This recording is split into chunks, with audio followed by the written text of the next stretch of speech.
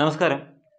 ഇനി നമ്മൾ പഠിക്കാൻ പോകുന്നത് ninth standard C B S സിയിലെ പോളിനോമിയൽസ് എന്ന ചാപ്റ്ററാണ് മാത്സിലെ രണ്ടാമത്തെ ചാപ്റ്റർ അപ്പോൾ ആ ചാപ്റ്റർ പഠിച്ചു തുടങ്ങുന്നതിന് മുമ്പ് നമ്മൾ അറിഞ്ഞിരിക്കേണ്ടുന്ന ചില കാര്യങ്ങളുണ്ട്. അപ്പോൾ ഈ വീഡിയോയിലൂടെ ഞാൻ വിശദീകരിക്കാൻ പോകുന്നത് നമ്മൾ അറിഞ്ഞിരിക്കേണ്ട ബേസിക് ആയിട്ടുള്ള ചില കാര്യങ്ങളെ പറ്റിയാണ്.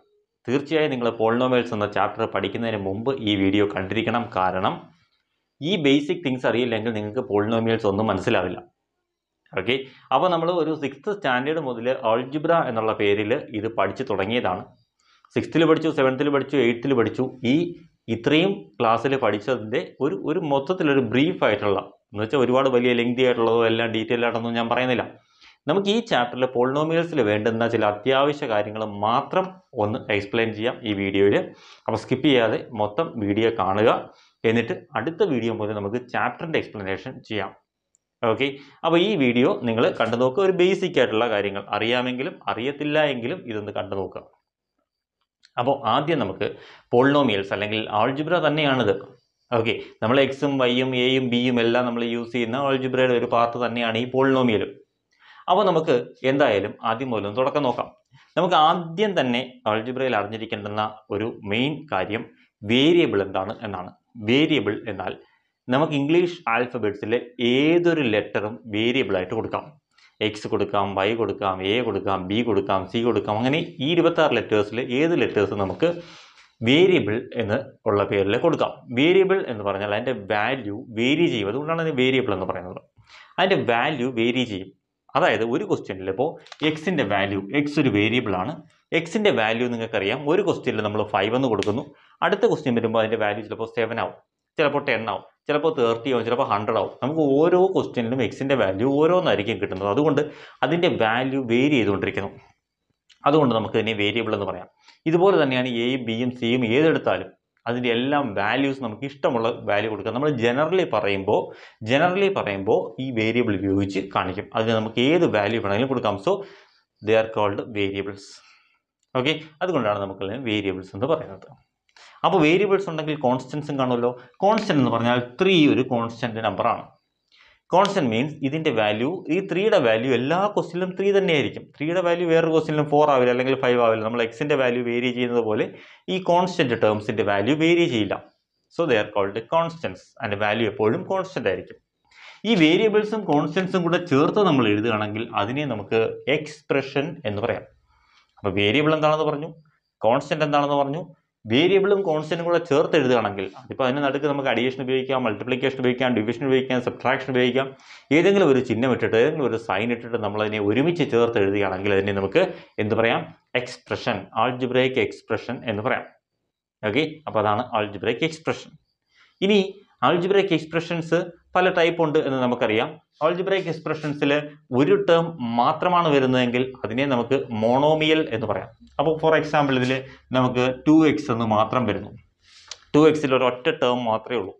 ഈ ഒരു ഒറ്റ ടേം ടേം എന്ന് പറഞ്ഞാൽ എന്താണെന്നറിയാമോ? ടേം എന്താണെന്ന് ഒന്ന് പറയാം. For example two X two X plus three Y plus five അത് പറഞ്ഞിട്ട് മോണോമിയിൽ പറയാം. ഈ two X plus three Y plus five എന്നുള്ളതിനകത്ത് ഇത് ഓരോന്നും ഓരോ ടേംസ് ആണ്. ടു എക്സ് ഒരു ടേമാണ് ത്രീ വൈ ഒരു ടേമാണ് ഫൈവ് ഒരു ടേമാണ് ഇതാണ് ടേംസ് അതിൽ അതിൽ അതിലെന്തൊക്കെയുണ്ടോ അതെല്ലാം ഓരോ ടേംസ് ആണ്. ഓക്കെ ഈ ടേംസിനെ നമുക്ക് ഫാക്ടേഴ്സ് ആയിട്ട് ഡിവൈഡ് ചെയ്യാം. അപ്പോൾ ഇത് ഓരോ ടേംസ് ആണ്. ഈ ടേം ഒരു ടേം എന്ന് പറയുന്നത് ടു എക്സ് ആണ്. രണ്ടാമത്തെ ടേം ത്രീ വൈ ആണ്. മൂന്നാമത്തെ ടേം ഫൈവ് ഫൈവ് ആണ്. ഇനി ഇതിന്റെ ഫാക്ടേഴ്സ് എന്താണെന്ന് വെച്ച് കഴിഞ്ഞാൽ ടു എക്സിന്റെ ഫാക്ടേഴ്സ് ടൂവും എക്സും ടു എക്സിന്റെ ഫാക്ടേഴ്സ് ടൂവും എക്സ് ടു എക്സോടെ മൾട്ടിപ്ലൈ ചെയ്തപ്പോഴാണ് ടു എക്സ് കിട്ടിയത്. അതുകൊണ്ട് ഇപ്പോൾ അതിന്റെ ഫാക്ടേഴ്സ് ടു എക്സും അപ്പോൾ ത്രീ വൈയുടെ ഫാക്ടേഴ്സ് എന്തൊക്കെയായിരിക്കും? ത്രീയും വൈയും ആയിരിക്കും. ഫൈവിന്റെ ഫാക്ടർ ഫൈവ് തന്നെയായിരിക്കും. അപ്പോൾ ഇതാണ് ഫാക്ടേഴ്സ് വേരിയബിൾ പറഞ്ഞു കോൺസ്റ്റന്റ് പറഞ്ഞു ടേംസ് പറഞ്ഞു ഫാക്ടേഴ്സ് പറഞ്ഞു. ഇനി ഒരു ടേം ഉണ്ട്. ഒരു കാര്യം കൂടെ പറയാനുണ്ട്. കോഎഫിഷ്യന്റ് എന്താണ് കോഎഫിഷ്യന്റ് കോഎഫിഷ്യന്റ് എന്ന് പറയും. കോഎഫിഷ്യന്റ് എന്താണെന്ന് വെച്ച് കഴിഞ്ഞാൽ വളരെ സിമ്പിൾ കോൺസെപ്റ്റാണ് ത്രീ എക്സ് എന്ന് പറയുന്നതിലെ കോയിഫിഷ്യന്റ് എക്സിന്റെ കോയിഫിഷ്യന്റാണ് ത്രീ ലെഫ്റ്റ് സൈഡിൽ കിടക്കുന്ന നമ്പറാണ് കോയിഫിഷ്യന്റ് ത്രീ എക്സ് എന്നുള്ളതിൽ എക്സിന്റെ കോയിഫിഷ്യന്റാണ് ത്രീ ഫൈവ് വൈ എന്നുള്ളതിൽ വൈയുടെ കോയിഫിഷ്യന്റാണ് ഫൈവ് ടു വൈ സ്ക്വയർ എന്നുള്ളതിൽ വൈ സ്ക്വയറിന്റെ കോയിഫിഷ്യന്റാണ് ടു അപ്പോൾ എക്സ് എന്നുള്ളതിൽ എക്സിന്റെ കോയിഫിഷ്യന്റ് എന്ത് വരും? എക്സിൽ എക്സിന്റെ ലെഫ്റ്റ് സൈഡിൽ നമ്പർ ഒന്നുമില്ല. ഇവിടെ നമുക്കറിയാം ലെഫ്റ്റ് സൈഡിലുള്ള നമ്പറാണ് നമ്മൾ കോയിഫിഷ്യന്റ് ആയിട്ട് പറഞ്ഞത്. ഇവിടെ നമുക്ക് എക്സിന്റെ ലെഫ്റ്റ് സൈഡിൽ നമ്പർ ഒന്നുമില്ല. അതായത് ഇവിടെ വൺ നമുക്ക് കൊടുക്കാം. എക്സ് മീൻസ് വൺ എക്സ് ആണ് അല്ലേ? അപ്പോൾ ഇതിന്റെ കോയിഫിഷ്യന്റ് എന്ത് വരും? വൺ ആണ് അതിന്റെ കോയിഫിഷ്യന്റ് അപ്പം നെഗറ്റീവ് വൈ എന്ന് കൊടുത്തിട്ടുണ്ട്. അതിന്റെ കോയിഫിഷ്യന്റ് എഴുതാൻ പറഞ്ഞാൽ നമുക്ക് എന്ത് എഴുതാം? നെഗറ്റീവ് വൈയുടെ കോയിഫിഷ്യന്റ് നെഗറ്റീവ് വൺ ആണ്. മനസ്സിലായില്ലേ? നെഗറ്റീവ് വൈയുടെ കോയിഫിഷ്യന്റ് നെഗറ്റീവ് വൺ ആണ് എന്ന് നമുക്ക് എഴുതാം. ഇനി മറ്റൊരു രീതിയിൽ ചോദിക്കാം. വേറൊരു രീതിയിൽ തരുന്നു. അതായത് five Y plus two five Y plus two അതിൽ എക്സിന്റെ കോയിഫിഷ്യന്റ് എത്രയാണെന്ന് ചോദിക്കാം. എടാ അതിനകത്ത് എക്സ് ഇല്ലല്ലോ. പിന്നെ എങ്ങനെ നമ്മൾ എക്സിന്റെ കോയിഫിഷ്യന്റ് എഴുതും? ഇവിടെ എക്സ് ഇല്ല. ഫൈവ് വൈ പ്ലസ് ഈ എക്സിന്റെ കോയിഫിഷ്യന്റ് എത്താന്ന് ചോദിക്കാം.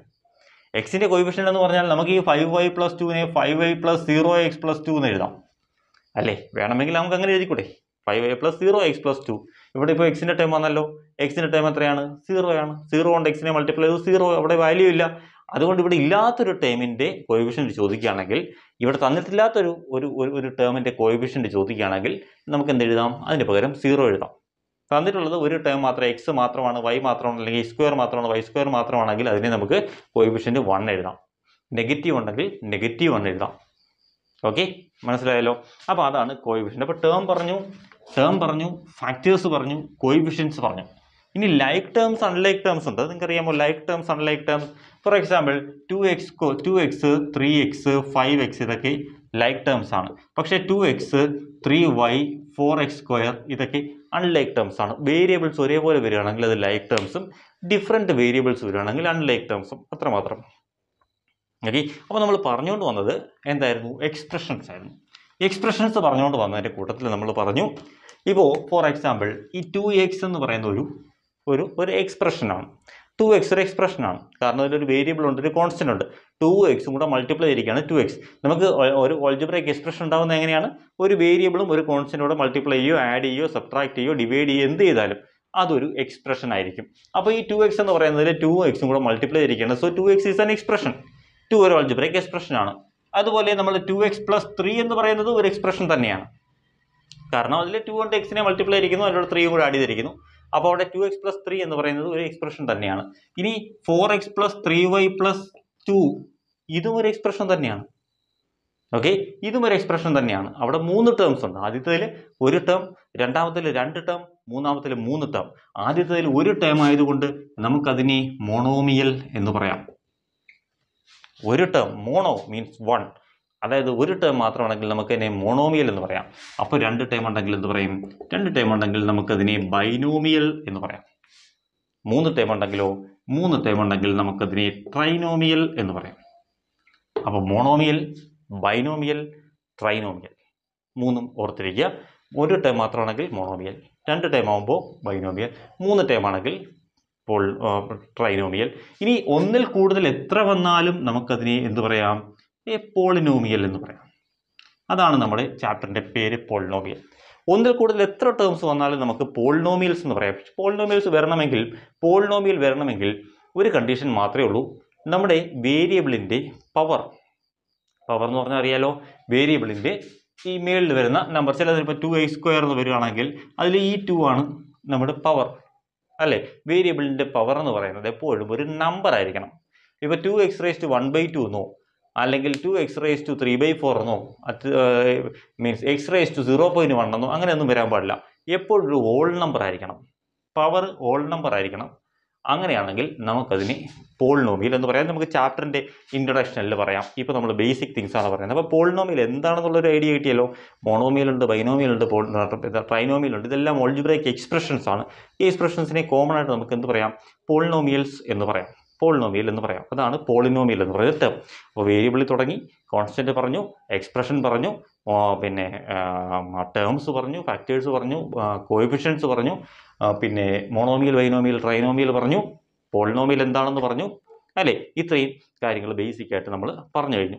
ഇനി ഇനി നമ്മൾ ചെയ്യാൻ പോകുന്നത് വളരെ ഇമ്പോർട്ടന്റ് ആയിട്ടുള്ള ഒരു സെക്ഷൻ അതാണ്. ഓർത്തിരിക്കേണ്ട കാര്യം. ഐഡന്റിറ്റീസ് ഐഡന്റിറ്റീസ് എന്ന് പറയുന്ന ഒരു സെക്ഷൻ നമുക്ക് ഇതിൽ വളരെ ഇമ്പോർട്ടന്റ് ആണ്. ഐഡന്റിറ്റീസ് എന്താണ് നോക്കാം.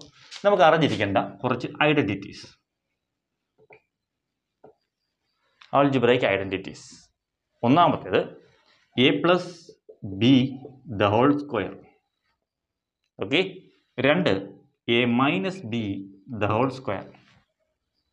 തീർച്ചയായിട്ടും നിങ്ങൾ അറിഞ്ഞിരിക്കണം. A plus B the whole square is equal to A square plus two A B plus B square okay A plus B the whole square is equal to A square plus two A B plus B square A minus B the whole square is equal to A square minus two A B plus B square അപ്പോൾ A plus B the whole square is equal to A square plus two A B plus B square ആണെങ്കിൽ A minus B the whole square is equal to A square minus two A B plus B square അതുപോലെ A square minus B square ഉണ്ട്. അത് A plus B into A minus B ആണ്. A square minus B square is equal to A plus B into A minus B ഓർത്തിരിക്കുക. അടുത്തത് X plus A into X plus B ഉണ്ട്. X plus A into X plus B എങ്ങനെ നമുക്ക് expand ചെയ്യാം? X square plus A plus B into X plus A B ഇതും വളരെ important ആണ്. ഇത് ഓർത്തിരിക്കണം. X plus A into X plus B equal to X square plus A plus B into X plus A B okay അടുത്തൊരു identity ഉള്ളത് A plus B into C plus D ആണ്. A plus B into C plus D അത് എങ്ങനെ നമുക്ക് ചെയ്യാം? A കൊണ്ട് ആദ്യം C A multiply ചെയ്യാം. എ സി എ കൊണ്ട് ഡി എ മൾട്ടിപ്ലൈ ചെയ്യുക പ്ലസ് എ ഡി ബി കൊണ്ട് സി എ മൾട്ടിപ്ലൈ ചെയ്യുക പ്ലസ് ബി സി ബി കൊണ്ട് ഡി എ മൾട്ടിപ്ലൈ ചെയ്യുക പ്ലസ് ബി ഡി ഇതാണ് അതിന്റെ എക്സ്പാൻഷൻ ഓക്കെ അപ്പോൾ ഇത്രയും ഐഡന്റിറ്റീസ് നിങ്ങൾ പഠിച്ചിരിക്കണം അത് കാണാതെ തന്നെ പഠിച്ചിരിക്കുക. വളരെ ഇമ്പോർട്ടന്റ് ആണ്. നമുക്ക് എല്ലാ ഇതുമായിട്ട് റിലേറ്റ് ചെയ്തിട്ടുള്ള എല്ലാ ചാപ്റ്ററുകളിലും ഈ പോളിനോമിയൽസ് ആണെങ്കിലും ഓൾജിബ്ര ആണെങ്കിലും ഇതുമായിട്ട് റിലേറ്റ് ചെയ്തിട്ടുള്ള എല്ലാ ചാപ്റ്ററും നമുക്ക് ഈ ഐഡന്റിറ്റീസ് വരുന്നുണ്ട്. അതുകൊണ്ട് ഐഡന്റിറ്റീസ് കൃത്യമായിട്ട് നമ്മൾ പഠിച്ചിരിക്കുക. ഓക്കെ ഇനി ഒരു കാര്യം കൂടെ ഉണ്ട്. നമ്മൾ നേരത്തെ പഠിച്ചിട്ടുണ്ട് ഡിസ്ട്രിബ്യൂട്ടീവ് പ്രോപ്പർട്ടി ഇതെല്ലാം നിങ്ങൾ അറിഞ്ഞിരിക്കാൻ വേണ്ടിയിട്ട് പറയുകയാണ്. ഓൾറെഡി പഠിച്ചിട്ടുള്ള കാര്യമാണ്. നമ്മുടെ ചാപ്റ്റർ തുടങ്ങാൻ വേണ്ടിയുള്ള ബേസിക് ആയിട്ടുള്ള ഫാക്ട്സ് ആണ് നമ്മൾ ഈ ചാപ്റ്ററിൽ പറ ഈ വീഡിയോയിലൂടെ പറയുന്നത്. ഇത് കഴിഞ്ഞ് അടുത്ത വീഡിയോ മുതൽ നമ്മൾ ചാപ്റ്ററിന്റെ എക്സ്പ്ലനേഷൻ തുടങ്ങുന്നതായിരിക്കും പോളിനോമിയൽസ് എന്ന് പറയുന്നത്. ആക്ച്വലി മനസ്സിലാക്കുകയാണെങ്കിൽ ഈ ബേസിക് ഫാക്ട്സ് മനസ്സിലാക്കി പഠിക്കുകയാണെങ്കിൽ വളരെ സിമ്പിളായിട്ട് നമുക്ക് പഠിച്ചെടുക്കാൻ പറ്റുന്ന ഒരു ചാപ്റ്ററാണ് ആൾജിബ്ര എന്ന് പറയുന്ന പലർക്കും കേൾക്കുമ്പോൾ ഒരു പേടിയായിരിക്കും. പക്ഷേ ഈ ബേസിക് ഫാക്ട്സ് മനസ്സിലാക്കിയിട്ട് നിങ്ങൾ പഠിക്കുകയാണെങ്കിൽ വളരെ ഈസി ആയിരിക്കും എന്നാണ് നോക്കാം നമുക്ക്. അടുത്തൊരു കാര്യം A into B plus C distributive property എന്നുള്ള പേരിൽ പഠിച്ചിട്ടുണ്ട്. ഓക്കെ അന്ന് പഠിച്ചപ്പോൾ എല്ലാവർക്കും കുറച്ച് ബുദ്ധിമുട്ടായിട്ടുള്ള കാര്യമായിരുന്നു. A into B plus C equal to ഈ എ കൊണ്ട് ആദ്യം ബി എ മൾട്ടിപ്ലൈ ചെയ്യുക എ ബി പ്ലസ് എ കൊണ്ട് സി എ മൾട്ടിപ്ലൈ ചെയ്യുക എ സി ഇത്രയേ ഉള്ളൂ. A into B plus equal to A B plus A C ഇതാണ് distributive property അടുത്ത് A into B minus C ആകുമ്പോൾ നമുക്ക് എങ്ങനെ എഴുതാം? എ കൊണ്ട് ബി എ മൾട്ടിപ്ലൈ ചെയ്യുക മൈനസ് എ കൊണ്ട് സി എ മൾട്ടിപ്ലൈ ചെയ്യാം. ഇത്രയേ ഉള്ളൂ. ഇതാണ് ഡിസ്ട്രിബ്യൂട്ടീവ് പ്രോപ്പർട്ടി ഈ ഡിസ്ട്രിബ്യൂട്ടീവ് പ്രോപ്പർട്ടി വളരെ ഇമ്പോർട്ടന്റ് ആണ് അറിഞ്ഞിരിക്കണം. നമുക്ക് എവിടെയാണ് ഉപയോഗം വരുന്നത് വെച്ചാൽ ഈ A B plus A C എന്ന ചില കണ്ടീഷനിൽ തന്നിട്ടുണ്ടാവും. നമ്മളിതിനെ A into B plus C എന്ന് എഴുതേണ്ടി വരും. അതായത് കോമൺ ആയിട്ട് എടുത്ത് ചെയ്യുക എന്ന് പറയും. കോമൺ ആയിട്ട് എടുക്കുക. രണ്ട് ടേംസിലും കോമൺ ആയിട്ടുള്ള ടേമിനെ നമ്മൾ പുറത്തെടുക്കും. അങ്ങനെ ഒരു കാര്യം നമ്മൾ എയ്റ്റിൽ പഠിച്ചിട്ടുള്ളതാണ്. കോമൺ ആയിട്ടുള്ളതിനെ പുറത്തെടുക്കുക. ഈ കോമൺ ആയിട്ടുള്ളതിനെ പുറത്തെടുക്കുന്ന മെത്തേഡ് ആക്ച്വലി ഡിസ്ട്രിബ്യൂട്ടീവ് പ്രോപ്പർട്ടിയാണ് നമ്മൾ പഠിച്ചിട്ടുള്ള പ്രോപ്പർട്ടി തന്നെയാണ്. അപ്പോൾ ഇത് വളരെ സിമ്പിളായിട്ട് നമുക്ക് ചെയ്യാൻ പറ്റും. ഈ ഒരു ഇക്വേഷൻ എന്തായാലും ഓർത്തിരിക്കുക. ഇത്രയും ഐഡന്റിറ്റീസും ഇത്രയും ബേസിക് തിങ്സും നിങ്ങൾക്ക് അറിയാമെന്നുണ്ടെങ്കിൽ ഈ ചാപ്റ്റർ വളരെ സിമ്പിളായിരിക്കും ഇതറിയില്ല എന്നുണ്ടെങ്കിൽ ഈ ചാപ്റ്റർ നിങ്ങൾക്ക് വളരെ ബുദ്ധിമുട്ടായിരിക്കും. ഇനി അടുത്ത വീഡിയോ മുതൽ ഈ പോളിനോമിയലിലെ ബേസിക് ആയിട്ടുള്ള മീൻസ് അതിന്റെ ചാപ്റ്ററിനകത്ത് നമുക്ക് പഠിക്കാനുള്ള കാര്യങ്ങൾ നമുക്ക് പഠിക്കാം. കുറച്ച് മനസ്സിലാക്കുക ഈ എന്താണ് ശ്രദ്ധിച്ച് ചെയ്യുകയാണെന്നുണ്ടെങ്കിൽ വളരെ ഈസി ആയിട്ട് ചെയ്യാൻ പറ്റുന്നതാണ്. പിന്നെ തെറ്റാനും അത്രയധികം ഈസി അത്ര എളുപ്പമാണ്. ഒരു ചെറിയ മിസ്റ്റേക്ക് വന്നാൽ തന്നെ ആൻസറിൽ വലിയ വ്യത്യാസം വരും. അതുകൊണ്ട് തന്നെ ശ്രദ്ധിച്ച് സൂക്ഷിച്ച് ചെയ്യേണ്ടുന്ന ചില പ്രോബ്ലംസ് ആണ് ഈ പോളിനോമിയൽസ് എന്നുള്ള ചാപ്റ്ററിലുള്ളത് കുഴപ്പമില്ല. ഇത്രയും ചാപ്റ്ററുകൾ നിങ്ങൾക്ക് ഈസി ആയിരുന്നതുപോലെ ഇതിലും നമുക്ക് എളുപ്പ വഴികളുണ്ട്. ആ എളുപ്പ വഴികളിലൂടെ തന്നെ നമുക്ക് മുന്നോട്ട് പോകാം. അടുത്ത വീഡിയോയ്ക്ക് വേണ്ടിയിട്ട് വെയിറ്റ് ചെയ്യുക. ഉടനെ തന്നെ അപ്ലോഡ് ചെയ്യുന്നതായിരിക്കും. ഓക്കെ അപ്പോൾ ബാക്കി നമുക്ക് അടുത്ത ക്ലാസ്സിൽ നോക്കാം.